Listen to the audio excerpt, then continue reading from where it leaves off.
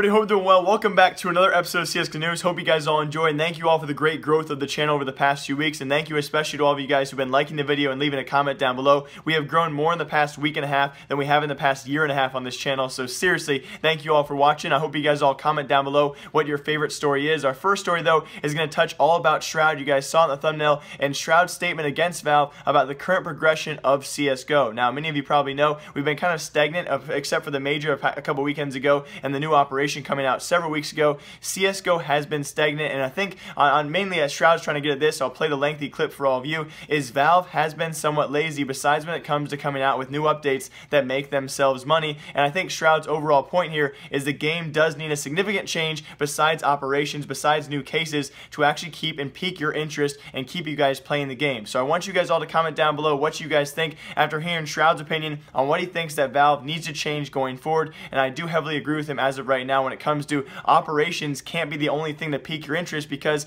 especially many of you guys watching this, you finish the operation missions within two days or a day or four hours and your interest is already gone. So listen to the clip down below and I'll play it on screen for all of you right now and let me know what you guys think. What does Valve need to change in-game to pique your interest and keep you playing CSGO? I personally, if I was Valve, this might probably be too much work for them. That's why they won't do it. They won't. They won't go up from their fucking 15 staff members working on Counter Strike Go.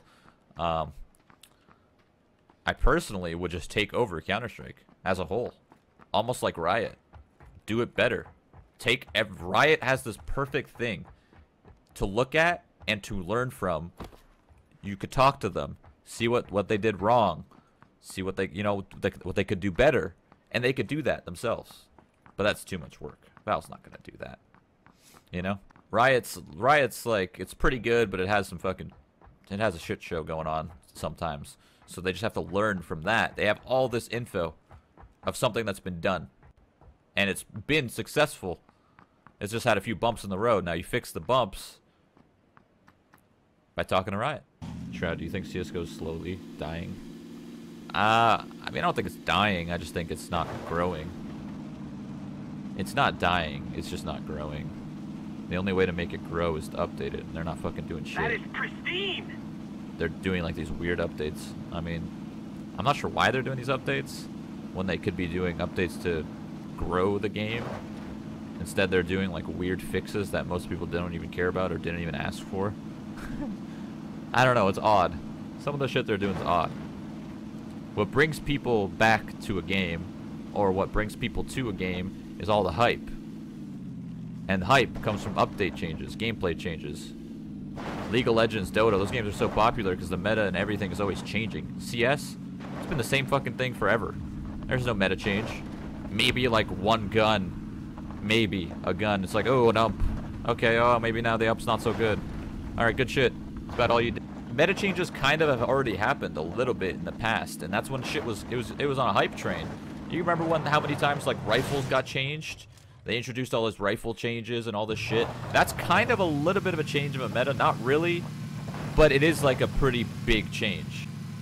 Operations won't save the game. It has to be something significant. And I really don't mean to attack Valve here. If you guys disagree with me anything, if you guys have any reasons to disagree with me, please leave those comments down below. I'd love to reply to you guys, but I have to kind of go after Valve here because time and time again, we have seen the things that we want, the things that you want in the game, they take so long to progress and so long to update. The first of which I would say Dust 2 rework, probably going to take way longer than it needs to, although we still have Inferno in the map pool, so that's the least of our worries there. Another example would be the R8 Negev update. That was months ago where they came out with that kind of beta testing. Those weapons have still yet to be finished off, which has been taking an excessive amount of time. On top of that, our last operation, we waited the longest ever for an operation, almost a full year, and people complained because it took people 12 hours to finish that operation, which took Valve over almost a year to actually produce. Even further, now we have the crouch jump bug. Who, who really knows how long the dev working on that's going to take his time? Maybe at least a few months, maybe even a year. Who knows how long that will be? It would be a nice surprise if Valve actually fixes that one. But then in that same amount of time we were waiting for an operation, the things that make Valve money in their own pockets,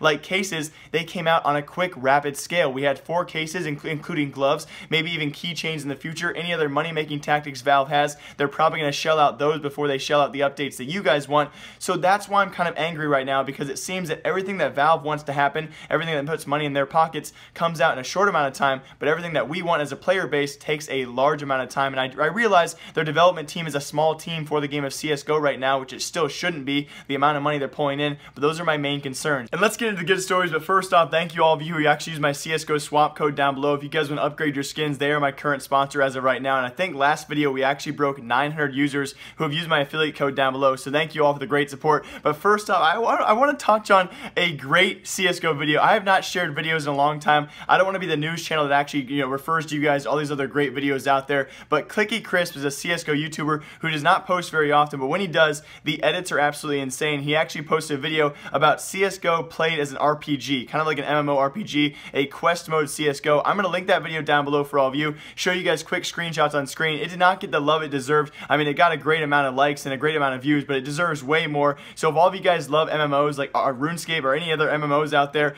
this would be a great video for you guys to watch. He shows CSGO played out as an RPG, and it was an amazing video. I can't imagine how long it actually took him to put that into action. Now, on top of that, our last big story for today I want to talk about is future Asian shuffles. Now, a lot of you guys probably don't care about the Asian scene. I've talked so much about rumors about North America and European shuffles going on right now, but I've not talked about the Asian scene, who is obviously constantly going to be growing in the future, and we should be aware of that. In the future, they will be probably eventually, eventually a dominant scene, more dominant than they are right now. As of right now, that Asian scene is composed of Korean and Chinese teams, just so all of you guys know, and don't get mad at me for that. So first of which, MVP Project has actually disbanded. If you guys remember, when MVP first banded, they actually had a huge hype around them because they were one of the first Asian scene teams to arise. It seems they don't have enough money going forward to actually support their roster, and so MVP has disbanded. But more importantly, in the Chinese scene of the Asian region, we have a lot of stuff going on, a lot of stuff going down, including Edward Gaming, a popular League of Legends esports organization. They have a lot of money over there. They've actually gotten involved with Team Tyloo going forward. They created a partnership just yesterday. I'll show you guys screenshots. How could you not be scared of these guys? But I mean, that was a joke, but I'm being serious going forward. These guys could be a powerhouse, have plenty of money with them. And on top of that, we could see a possible Asian shuffle involving other Chinese teams. Of course, VG Cyber Zen, they used to be second in the Chinese scene. If you guys remember, many, many months ago, though, they decided to actually branch off into two different teams. There is still VG Cyber Zen, and now Vici Gaming is their partner team, and they got way worse after they split off. And so we could see kind of a three-way going on. I didn't mean that to be weird. Okay, a three-way of trades going on, a shuffle going on between those players because a lot of the players on VG actually used to play with players on Tyloo, and so watch out for that. Tyloo and Edward Gaming could also have a youth partnership squad, so kind of an academy team as well. So a Chinese slash Asian scene shuffle is coming sometime soon, and we will see what comes out of that. Hopefully a dominant team for once. I know I always talked up the hype about the Chinese scene. It does obviously take time for these things to arise, but watch out, guys. You heard it here first, or if you've already heard about it, you heard it here second, okay? So for today's last segment, I'm going to talk about why I don't use Drakemoon, why I don't like Drakemoon. If you guys are any Drakemoon fanboys out there, I'm sorry, I might break your heart here because I'm going to tell you all not to use it. This is not in any means actual paid promotion. This is me spending a month of my time to actually acquire a video segment of 60 seconds. So I spent a month of my time. I'll show you guys the distribution of math on screen. Every, if you guys know Drakemoon's daily collection, you can actually collect diamonds, 300 diamonds on their website every three hours. So collectively, I spent over a month trying to get 50,000 diamonds. I thought I would make a fun video segment for all of you, and I would give away whatever skin I got. Well, after 10 minutes of opening cases on their website, uh, 50,000 diamonds worth. If you also know, if you actually go deposit $500 worth of skins on their website, you'll get 50,000 diamonds. So equivalently, I did that, and I spent 10 minutes opening cases, and I got absolutely nothing. Just a, a long story short, okay? So that's why I'm not going to use them ever again. I guess daily collection is never going to be in your favor anyway, but I was pissed off about that. And I was also pissed off because the top comment on my last video for community questions was this guy. This jokester, and even worse, all of you jokesters who thumbs up his comment, and that is why today I'm not going to do any community questions because I don't know where Foon is, okay?